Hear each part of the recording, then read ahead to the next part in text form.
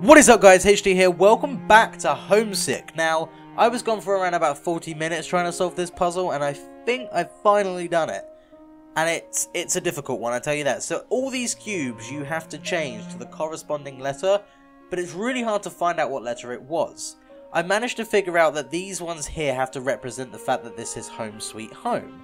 So, that now says home sweet home. If you go into here, it says A, B, C, D, E's missing, but F, which is all this stuff, and then I've got link here because the way I worked this out, which is a very annoying way to do it, but I had to keep walking back and forth. Bear in mind, you can't run in this game, you're set at this speed. I had to walk all the way over here. Sometimes I had to go up there, but I had to go all the way around here and read this note. Now, you'll see these aren't symbols anymore, these are letters, which is great. But if I go here, that's now all in perfect readable condition, which is brilliant. I also had to, like, there's blocks over here that I had to change. There was a lot of back and forth backtracking, and it just wouldn't have been that entertaining for a video, which I, which is why I'm glad I cut it out. I ended up figuring out that this is like a library setup, so A to F, and I was like, oh, that must be a G, which is how I figured out the G symbol, G to N, O to R, and then S to e S to Z. But now all these books are perfectly readable. Um, in my knowledge, yeah, they're all readable, which is great, meaning I might go and backtrack and do all the reading for some of the books.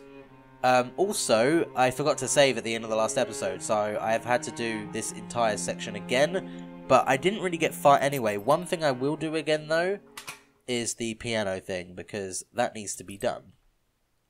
So, I won't make you sit through it, I might just speed it up, and it'll be entertaining for you, maybe, I don't know. Did I not pick up the thing? I must, I swear I did.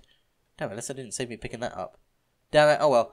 Um, I'm not sure what relevance it has, but we'll do this as we're here and this is new, so these are all labeled, labeled A to E now, which is great. So, elevator breaker instructions. Follow these carefully or the elevator will not work. I don't know why, it's just really bad wiring I guess, but I've found that this is what works. First make sure all the breakers are off, then in this order, turn C on, flip A and B on, then turn C back off, lastly set E to on. No, left is on and right is off, so turn C, A, and B, and then C off, and then E. So, uh, C, A, B, C off, then E. That work? Said the elevators. I think I did that right. Left is on, right is off. Oh, bollocks. We'll do it again. We'll do it again. We'll do it again. Right. The, then in this order, turn C on, flip A and B on, then turn C back off, lastly set E to on. So, C, A, B, C, E, yeah? C, A, B, C, E. That's right. Left is on and right is off. Yeah, that seems about right. So, I think now I can call for the elevator. Not too sure though. No? I swear I did that right, though. I might have done. Maybe I'm missing something. Maybe I'm missing something. So I do know I need to turn this flower over here on. Well, turn it on, you know what I mean. I need to fill it up with water. But to my knowledge, I don't know where any water is currently in this section. Um, this door is locked, so we do end up needing to find that. Maybe we can unlock that door later. Now, further up here, there is an unlocked room. It might be this one. No, okay, it's this one up here, because the door's already open. There's this cabinet, and originally I couldn't read this note, but it says spares keys in here. The combination is 3311. I would have been doing that combination turning trick for ages, but if it's 3311, that's not that bad. Because there's spare keys in there, and that I reckon that unlocks the room that's locked. So, boom, there we go. 3311, open here. Keys! Yay! We got keys. We got quite a lot of keys. We got three keys here three different keys. Okay, so is this one? Let's find out. Get the keys out. Keys, keys, keys. There we go. There we go. There's one. Cool. Okay, this is like an office. Okay. It's different. Science Fiction Shorts Volume 3. It had been over a hundred years since the rover sent a transmission. Yet there it was coming in loud and clear. The century old rover was talking again. You see, we humans, we left it out there and they found it. they fixed it. For them, it was probably simple. Now, that simple rover that was designed by a team of your great grandfather was a part of that simple rover designed to look for life, has become our robotic ambassador to the first alien life we've ever found. We make things, and sometimes, if we're lucky, we make something that can have an unimaginable impact. We just hope it will be for the better. The young inventor only half listened. He was busy making things of his own, but eventually he'd learn the lesson for himself. Huh, okay. Definitely fiction. Dear Russell Paxton, the regional short story writing competition is. Why is that not a Q? It's meant to be a Q. Got it. Quickly approaching, and we do. Yeah, that does say do uh, it. The smudge confused me. And we do hope you submit an entry this year. We very much enjoyed your submission last year and are looking forward to what you have been working on lately. Good luck, Danielle Barnes, Regional Director. Okay. Random story idea notes. If a robot inventor invented a machine that could make anything that started with the letter N, would what would the machine create when asked to create nothing? It wouldn't create anything, surely. logic logic would dictate that nothing gets created. I hope. It's really dark in here. It's not just you that think, thinks it's dark in here. It's it, it's genuinely dark in here. Is there water in the bathtub? Oh. Did we just come in here for the stories? Well, we got more keys than one, don't we? So we can unlock multiple rooms by the sounds of it. Whoa, okay, look, it's definitely a large set of apartments. Uh, we got this one too. Oh no, that's the what we just read. There's more reading over here.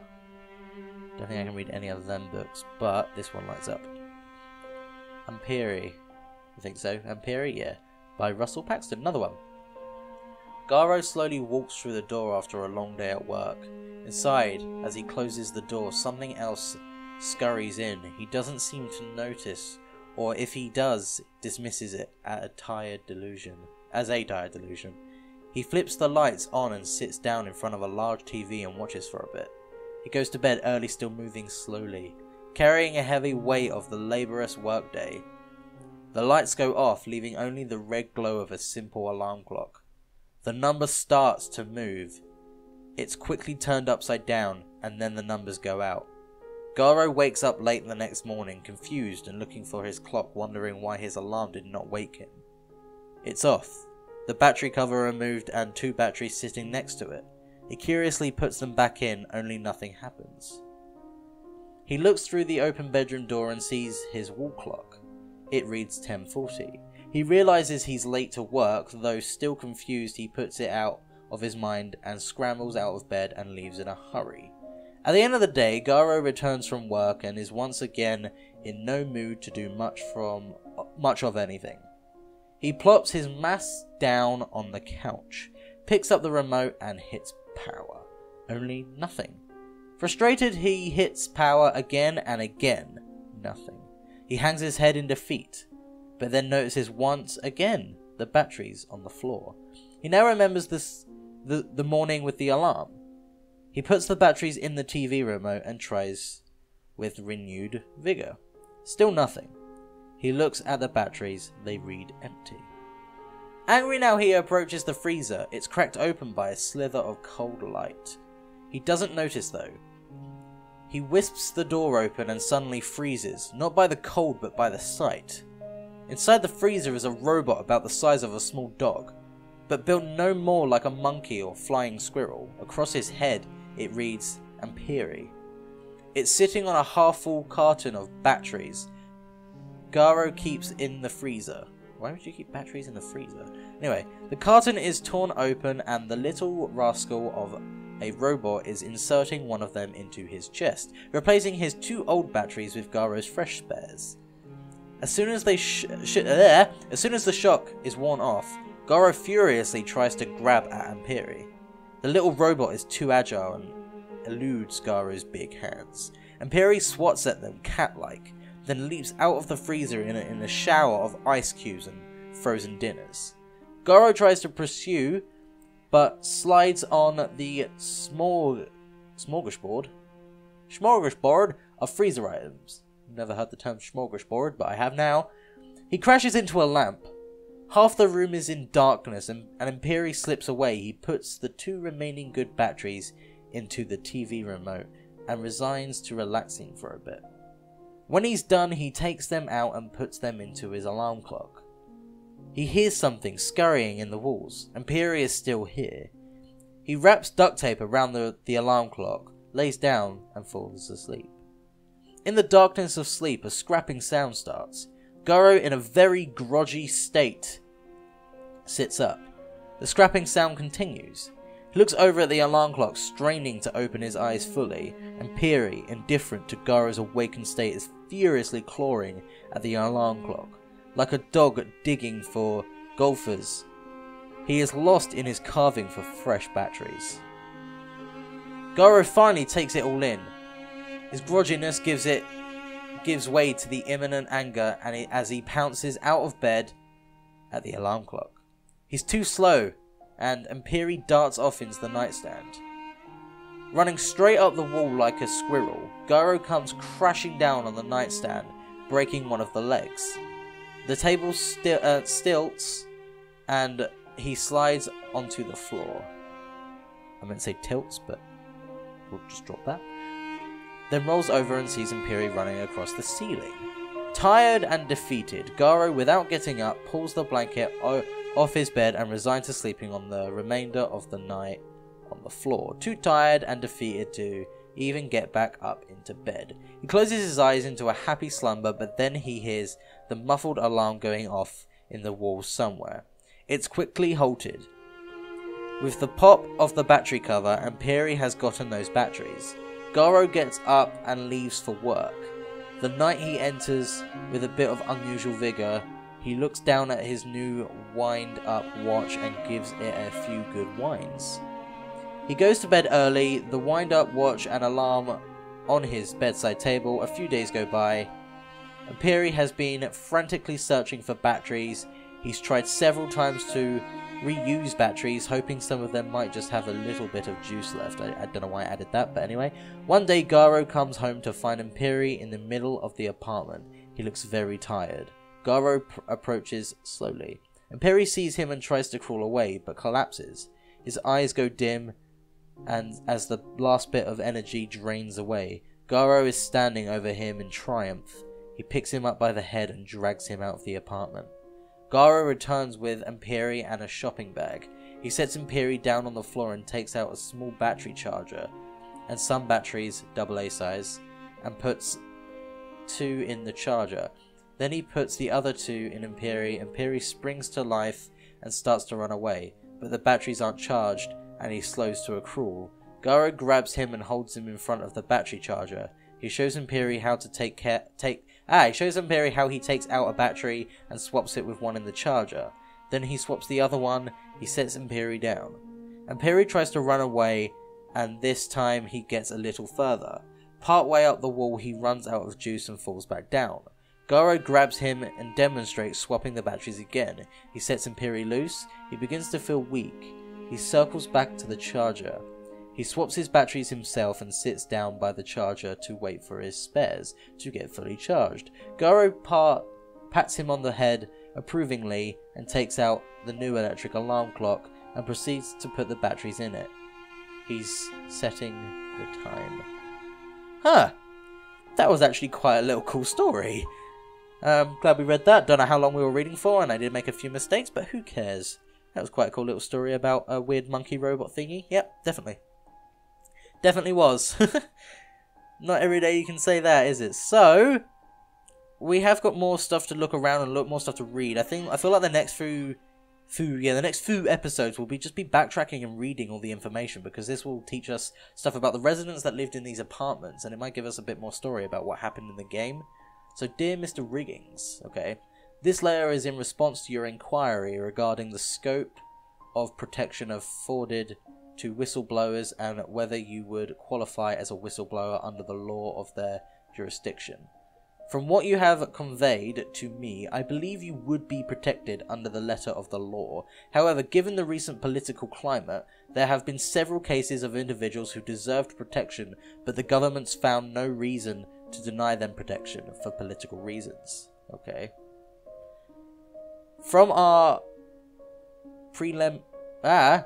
Oh my god, I can't say the word preliminary. Ah, fuck, you know what it means. Anyway, investigations conducted by our investigative team, it appears that there are indeed violations of several environmental laws occurring on an ongoing basis, putting the entire region at risk. My advice is for you to go public with your information, and myself and my colleagues are ready to defend you in the fullest extent provided under the law. However, I do warn you that it will be difficult, um, be a difficult battle with many risks. Sincerely, Lewis Z. Clark. So whoever lived here was a whistleblower, so he found out something that he probably wasn't meant to find out. So now I'm curious to find out what that was.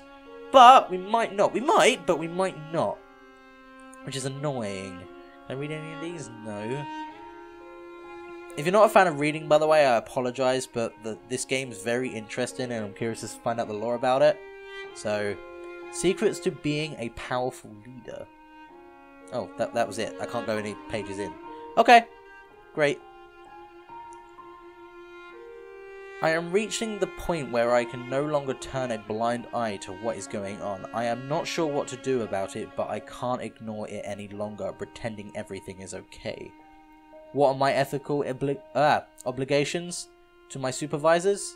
To the people working under me? To the community? To myself? I have worked so hard to get where I am. It has been a long road to get to become that assistant manager of operations in my department. I am sure many would kill for my job because I get paid more, because I get paid more, and have more opportunities for future promotions. Does that all mean I should just do what my supervisors want me to do and not say anything about all the problems that I see? I just heard from my from a neighbor that those um, filing cabinet, yeah, filing cabinets in the large community room down the hall used to be in the in my apartment. I guess the guy that used to live in my apartment unit, who was the manager before I took over the position, was transferred to a different district really quickly. The move was so quick that he didn't take all of his belongings with him, and a bunch of filing cabinets were left. The janitor moved them down the hall, and I don't think he even realised what is still in there. There are slides and newspaper articles in there that make me think the previous manager was con concerned about some of the awful things I am seeing. Now that I have his old job, I guess he never spoke up about them, but I think I will. I finally found an attorney to talk to, uh, to talk with, who I am hoping he will. Ah, bollocks! I finally found an attorney to talk with. I am hoping he will have some advice about what I should do. I think there are definitely some laws by being broken. Okay, so his company, maybe this company, he, he yeah, he wanted to be a whistleblower because he didn't agree with what his company was doing. Okay, but we don't know what that was. And I wonder if it's a different story in each apartment, because that would be really cool. That'd be really, really cool. It'd be interesting. Now, this door, I forgot to show you, I had to unlock this door, and there's a block behind this door that I had to change the letter G. But, but this door, this leads back to the right at the start of the game, and I think it's just an easier way to backtrack to do all the reading if you wish to, but ah, that's, that's a nice view. Anyway, because look, leave the hall lights on! Management. But now we can actually go back and read the stuff we looked at earlier. I'm a cat and you're not. that's, that's it, okay? Peaceful Drift a collection of poems about sleeping mule. Cool. Introduction to the silence, science of sleep. We can't read that one either. Cool. I can't sleep on this bed anymore. Is there any more to look at? There probably yeah, there's one. There we go. The building of Strats, an underground city in, inhabited by two very, very different cultures, often at odds outside the walls but inside a population at peace. Hmm, interesting. That genuinely is interesting.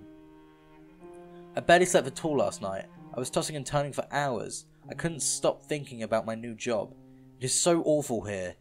There is so much destruction and pollution. The, the air is thick with smog and toxic dust. People say we are helping to provide energy, but I think there has to be a better way. I just want to earn enough money so that I can leave this place. One nice thing did happen today. For lunch, I sat with one of the other workers that happens to live on my floor. He was such a nice guy. He told me about his family and how he hopes that this place isn't too dangerous for his child. Like me, he hopes to earn enough money at this job to be able to leave and move to some better place, someplace better.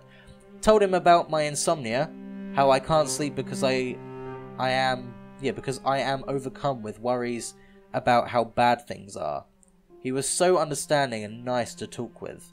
I wish he and his family lived next door to me instead of of ah instead of my current neighbor, the bachelor. Okay. He is so loud all the time with his parents, parties and dates, making it even harder for me to fall asleep. I started babysitting my co-worker's son. He is such a fun little kid. Spending time with him really lifts my spirits. He is doing so well starting to learn to read. I think his other favourite thing is to play hide and seek. The other day he was playing a game of hide and seek with his parents and he hid in my apartment and I wasn't even home from work yet. His parents went looking here, um, for him and found him in here. I bet I barely said sort of jump yet though, we're back to the beginning. Okay. Interesting. So that's me. That's my character. So who's this little kid? Right, next we got this one. We are separated now, as she said, but I still have years of memories of her, memories of good times past. I still dream of her every night, but where the dreams end and the memories begin sinks into the abyss, the abyss of the everyday obscurity. Now only a few things still linger as I remember that some part of it was real. The hardest part is letting go, letting the memories blend together into my dreams. The saddest part is losing the details as the memories become only stories. It's like losing years of myself. That's kind of sad. Yeah, that, that, that is kind of sad. Dreams of dress up for romance. Let's sit in this one. Right, so I'm heading back now only because I feel like I should move on a little bit, but I do plan to do the rest of the reading. Just as of right now, no. Um, just not right now. Like I, I don't even want to read a certain amount a day. I don't want to bore you with just reading and reading. Unless you're really interested in it, then next episode might just be the reading. I'm not really sure how many readings are left. I know there's a fair amount, but it, it's not insane. So, um, the elevators. That's the next thing I gotta do. Meaning I've got to do this. But I've done this. So C A B C E. Yep, they're all left. How do I know if that's... Oh, wait, that's left. Yeah, that means on. C A B C E. That should be it. They should be on, or powered, or... I don't know. Maybe I need to play the piano. Oh, that's what I need to go and get. I need to go back to the uh, bedroom and get the uh, piano sheet, because for some reason I don't have it which is kind of annoying, but it's in this drawer, so it's not that bad to go and get. It's not in this drawer. Where the what? I don't have it, do I? I swear I don't have it. I got that bucket, that. Oh, I do have it. Oh, the more you know. The more you know.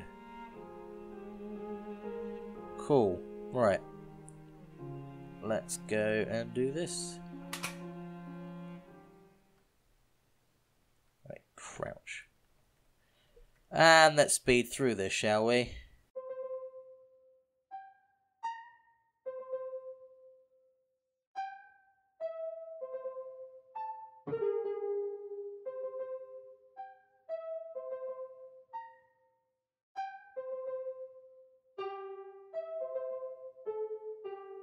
There we go, there's that. Just for a little piano thing that I can't seem to pick up. I'm not sure how relevant it is, but I thought I'd do it anyway. So yeah, that's that. Right, okay. See, music plays now. Hmm, I'll read these ones in the next episode, I promise. I promise I will. Uh, what difference does it make if music's playing? Hmm, I, can't, I can't call the elevators. It down. Alright, we'll try this again. Left is on, isn't it? Left is on, yeah, so I need them off. Off. Off, off, right. C A B C E.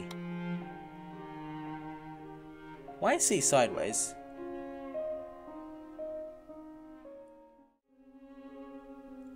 Well, I'll leave that episode here because it's going a bit wrong. I don't really know what I've got to do at this point because the piano thing just does the bit of paper. But the elevator like puzzle I can't seem to get working, so if there's anything I missed, I'll have a look around in a bit, but it'll probably be a while before I do another one of these, so if you if you want to see more, leave a like, obviously, and then let me know down in the comments, because if you enjoy it, then I'll carry on. I'm enjoying it, but like I said, it's it's a matter of if people want to see it. So anyway, thank you guys so much for watching. If you enjoyed, leave a like, leave a comment, let me know what you think of the video, and I will see you in the next one.